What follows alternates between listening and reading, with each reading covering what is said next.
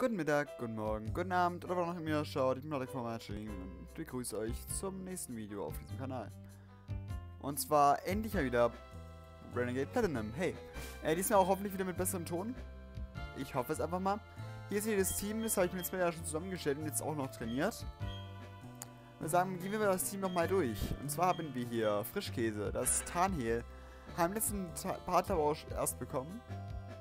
Ähm, was mir aufgefallen ist, das Ding hat äh, Fähigkeit Steinhaupt. Also kein Neutraltorso, der uns irgendwie vor Betrug bewahrt. Nein, Steinhaupt. Und das nur wegen Bodycheck. Gefühlt. Dann haben wir noch Zenhead und Ironhead. Also das Set hat sich nicht seinem letzten Mal nicht verändert. Warum sollte ich auch, das ist ein gutes Set. Vor allem mit zwei 80er Moves, die beide noch Steps sind. Kann man eigentlich nichts falsch machen. Jetzt haben wir dann Hasenkeule. Hat ich auch nicht großartig was verändert, weil es ja im letzten Part schon Level 14 war. Und nicht wegen des ähm, Maximum Levels 16 und den 4 EP, in dem Spiel bekommt, nicht äh, höher leveln wollte. Ja. Also jetzt haben wir Barbecue und der hat, bei dem hat sich einiges geändert hier im Moveset. Ähm, gut, es ist, äh, ja, äh, Durchbruch hatte ich als TM und hier gibt es die TMs immer 99-fach in dem Spiel. Heißt, ich könnte ihm einfach Durchbruch beibringen und noch ein paar anderen Teammitgliedern auch. Und ja, bis hat er einfach per Level abgelernt. Ist schon ziemlich crazy. Und in zwei Leveln entwickelt er sich schon zu Glutexo. Das ist auch ziemlich cool. Dann als nächstes haben wir McNugget, der ähm, bei dem immer nicht geändert hat. Ich wollte gar nicht weitergehen. Ähm, ja. Da haben wir hier Proteine. Ich, äh, bis auf den Big Break nichts geändert hat. Und zwar war das so ein Level-Up-Move. Jedenfalls habe ich den Aussehen nicht erlernt und stattdessen einfach die TM verwendet. Yay. Ähm, ja, sonst ist aber auch nicht so alles passiert. Und dann haben wir noch das letzte Mal hier Paella, dem ich auch den Brick Break beigebracht habe. Der hat sich inzwischen auch zu Lombrero entwickelt, wie man sieht. Und dann hat äh, immer noch Blubber, immer noch Megasauger, hat er halt noch äh, den Durchbruch und den Mogelhieb. Und ich würde auch sagen, wenn wir jetzt gleich in die Arena gehen, werde ich mit Paella leaden, weil... Ja, da werden viele Dual-Types sein mit Wassergestein, Bodengestein. Und ich glaube, da wäre Paella am Anfang schon die richtige Wahl. Wir machen ja auch jeden Trainer. Die sind ja nicht kacke. Und ja, schauen wir mal rein. In die erste Arena. In den ersten Kampf. You wait a long way around. Let's see why you do that. Weil ich kein Waschlappen bin. Hey. Gangster Jonathan. Lied mit Rihorn. Ich habe ja eigentlich immer bekommen. Und zwar mit dem Blubber. Aber jetzt wie gesagt nur, dass wir nicht zu viele, ähm, zu viele EP bekommen. Weil ich Paella sehr gerne noch im Arena-Kampf verwenden würde. Das ist einfach fast ein Level up. Haben wir jetzt noch ein, uh, haben jetzt einfach noch ein, äh, Ammonitas. Und das muss ich eigentlich auch mit Paella machen, weil ich sonst keine Platzmoves im Team habe.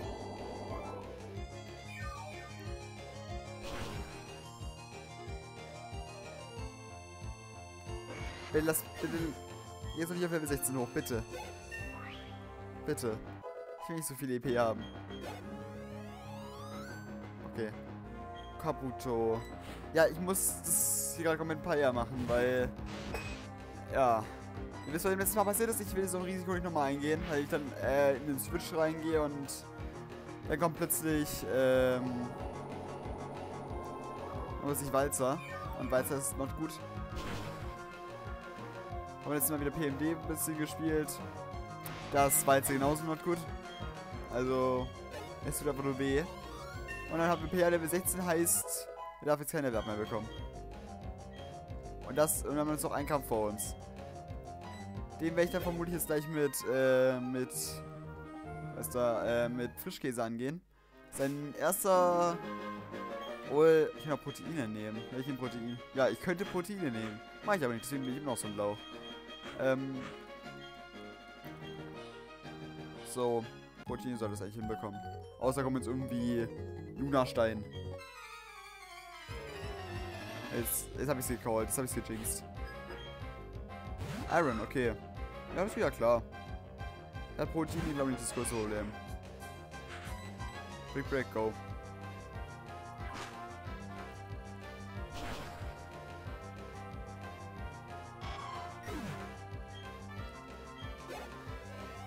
Okay, es sind nicht so viele EP. Ja, das geht klar. Anorit. Und ich habe das irgendwie noch nicht eingestellt, äh, umgestellt hier. Ja, wenn man so gecrashte Aufnahmen, bei denen, äh, wenn ich es dann auch machen wollte, dann denke ich bei der nächsten Aufnahme nicht mehr dran. Das ist richtig kacke. Okay, aber was soll Anorit jetzt großartiges können? Machen wir mal einen Durchbruch. Aber das macht aber nicht arg viel, oder? Ah, 10 KP. Geht klar. Wenn jetzt ein Aero Asso so kommt,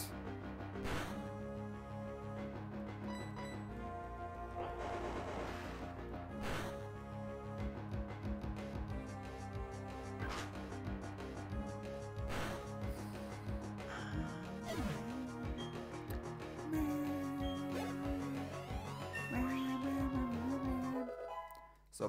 Haben wir auch schon mal den zweiten Gegner rum. Seismic Toss. Kann er sich mal beibringen. Wir brauchen ja nicht so viele, aber wir brauchen eigentlich nicht so viele Kampfmoves, aber wir jetzt machen, lernt halt nichts anderes. Ja, man kann mal gucken. Okay, ja, Liliep. Mal kurz einen Durchbruch rein und dann wird, das, dann wird der Arena-Kampf vermutlich eigentlich nur aus, ähm, wer ist da? Aus Paya, Proteine und Frischkäse bestehen. Und Level 16? Nein, ist es tatsächlich nicht. Dann gehe ich jetzt noch schnell über uns heilen und dann können wir direkt in den Arena-Kampf reinstarten.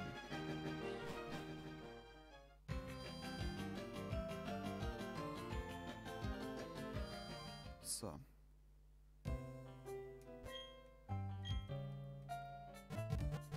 Schauen wir mal, dass wir mal ein bisschen mal kurz schauen. Ist ja bei etwa 7 Minuten. Also ist nämlich genau bei 7 Minuten. Dann können wir jetzt mal gucken, wie lange wir jetzt für den Kampf brauchen. 23.03 Uhr am 3. März. Jo. 2019. Oh yeah. Äh, mich mit Frischkäse rein. Ich will euch, soll ich mich dann eigentlich mit Iron Defense hochboosten? Okay. Fight gegen Fight. Oder ich weiß nicht, auf Englisch heißt. Die, Welcome, this is the Urbergs Pokemon Gym. I'm Rourke. Deine, seine Eltern haben ihn gehasst, definitiv. Dann ist so raus, das ist so ein und dann haben die ihn dann genannt. Oder scheinbar halt Rourke. I'm but one trainer. I'm but one. Ich verstehe den Satz nicht. We decided to walk proudly with rock-type Pokemon. As the gym leader, I need to see your potential as a trainer. And I'll need to see the toughness of the Pokemon that battle with you. So, erster Arena-Kampf gegen Rock. Rock. Ich meine diesen Namen nicht. Und ihr seht sechs Pokémon. Der fängt mit Nasenhet an. Mit der 15 Nasenhet. Okay. Ja, direkt mit dem... Donnerwelle. Also, ich, ihr wisst, ich habe hier jetzt ein Highlight-Item. Und pro Highlight, das er benutzt, kann ich noch ein weiteres machen. Tarnsteine. So, jetzt haben wir der Eisenschädel. Macht guten Schaden. Schockwelle. Wir haben einen guten speziellen Bulk, das sollen wir eigentlich gut aushalten können. Ja. Hätte weniger sein können. Der, der hält jetzt wieder hoch. Einen Trank hat er weg. Also haben wir das sind zwei. Alter, als ob der so oft paralysiert ist. Sandsturm, okay, das juckt, das juckt äh, Frischkäse jetzt nicht wirklich. Also einfach, einfach, äh, einfach schon in den ersten vier Runden sein komplettes Moveset, finde ich sehr angenehm.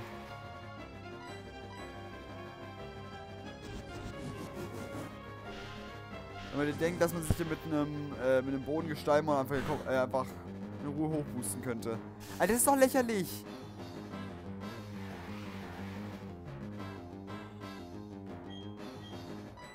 Noch einmal. Bitte nicht verrecken. Bitte, bitte, bitte kein Crit. Bitte kein Crit. Bitte kein Crit.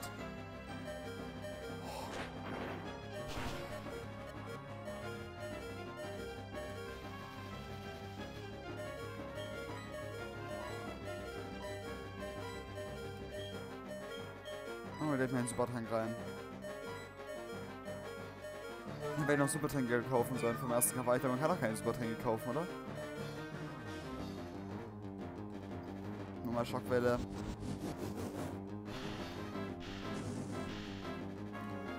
Ich es ein Fehler dass ich da jetzt drin geblieben bin.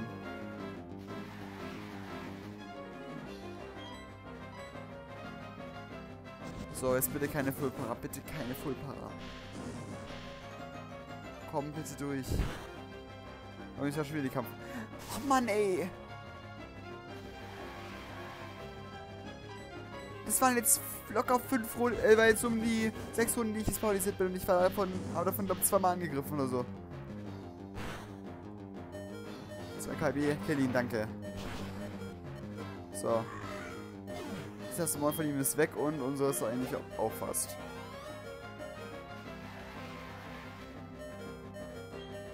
Geodude. Ich muss anwenden bleiben. Aber ich gehe jetzt gleich raus in Paella. Ich sehe nämlich, ich habe schon den, äh, den Boden-Move. Und dann will ich nicht, äh, erstens will ich nicht, hier ho äh, nicht hochheilen. Fire Punch. Was? Dann schauen wir übrigens auch mal wieder enden. So, welches, äh, welches Item habe ich denn denn auf Paella? Den Miracle Seed. Okay, ich kann auch also auf Megasauger gehen. So, go. Miracle Seed, Step, Megasauger. Es ist ein, zwar ein Landsturm, aber das wird auch trotzdem nicht tanken, oder? Er tankt mit einem KP. Oder so ähnlich. Rocktu, er misst. Und Sandstorm ist weg. Gut, gut, gut. Das ist richtig gut. Big Break. Und weg. So, zwei Mann von ihm weg und Bau ist doch nichts. Das ist gut. So, was haben wir denn jetzt? Onyx, okay. Onyx können wir mit Paella besiegen. Der hat genauso eine Kackspätze wie Kleinstein. Und der ist schneller und bringt den Sandsturm raus. Toll. Und Megasauger. Und ich hoffe, er ist weg.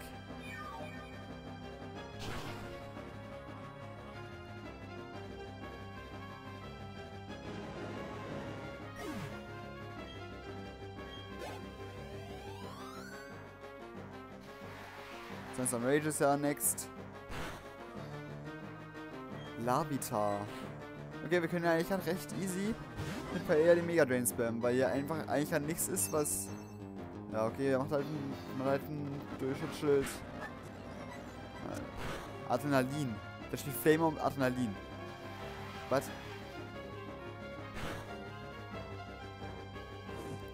Okay, bevor hier jetzt irgendwas äh, eskaliert, von wegen äh, Crit oder so, ich resiste zwei Moves von dem mit Proteine. Deswegen geht äh, wieder auf den Protect. Dann Sturm ist er noch am Bienen. Und Proteine kassiert. Lavitiar ist recht schwer, heißt ja auf den Low Kick. Und das mit den Protect. Bulldoze. Adrenalin zu viel.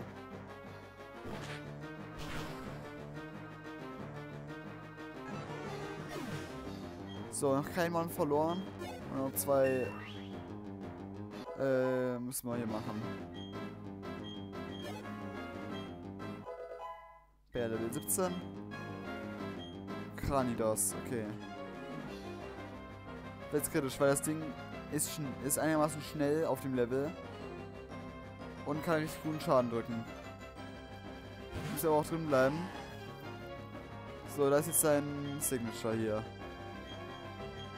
Meine beiden Monster, die ich hauptsächlich äh, regeln wollte, haben nicht mehr Angst für die KP. Dann will ich jetzt entweder einen davon hochheilen und Proteine abwerfen und ich wechsle in irgendwas rein, um safe in eher reinzukommen. Aber ich weiß halt nicht, ob eher schneller ist.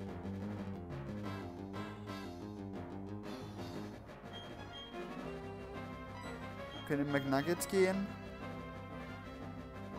Oder ich probiere es, ähm, ich probiere es, indem ich Proteine hochheile. Weil der hat, wenn er jetzt mit dem Steinmove kommt, den resisten wir. Bitte jetzt keinen Seinkopfstoß oder ähnliches. Ich hab...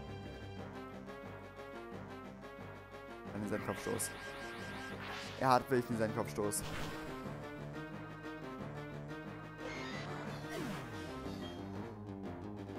Och nee, Alter. Payer.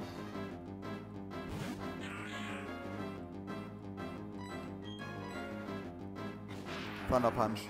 Ich kann mich hochheilen, aber ich kann mich ja nicht hochheilen.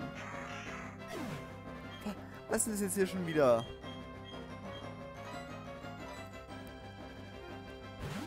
Oh, fuck, nein. Das ist ein Nightbad.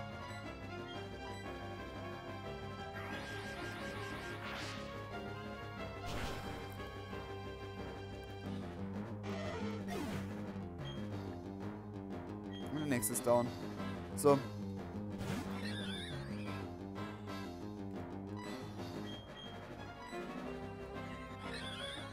Ich muss jetzt so probieren.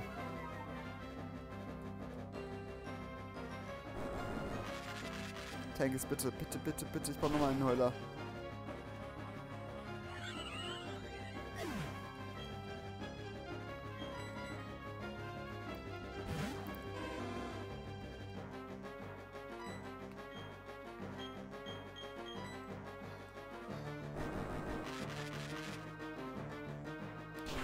Tankes.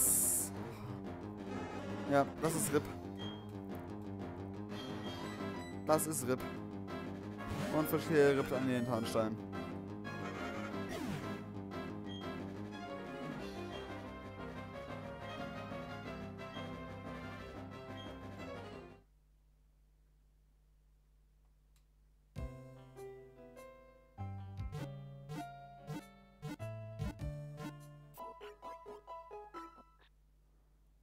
So, jetzt ist natürlich die Frage.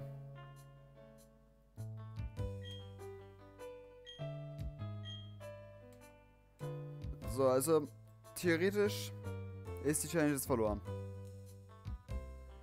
Jetzt muss natürlich sagen, wir machen weiter ohne, äh, ohne Dinger, also wir machen weiter ohne die Dinger Claws, weil ich krieg das ohne, ähm, ich krieg das mit der Level Claws nicht hin. Weil ich jetzt einmal schon mal PR nicht mehr habe. Und eben weil Monster wie Frischkäse oder äh, Proteine noch nicht so die Durchschlagskraft haben, die sie theoretisch haben könnten. Wenn man die zwar ein, zwei Level höher hat. Man, dann kann man es mal probieren mit, äh, mit höheren Leveln. So Level 18 vielleicht. Ähm, oder wir beenden das jetzt hier.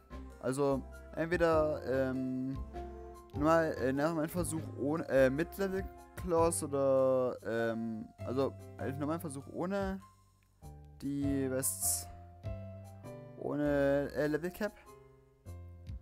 Oder mit Level Cap plus 5 oder so, also dass man quasi das höchste vom Arenaleiter nimmt plus 5. Das kann ich mir auch vorstellen. Oder wir beenden das jetzt hier. Werde ich wahrscheinlich mal äh, gucken, dass ich dann eine Abstimmung in die Endcard reinpacke und dann würde ich sagen, wir sehen uns im nächsten Video und ciao. Bitte dann aber auch abstimmen, ne? Ciao.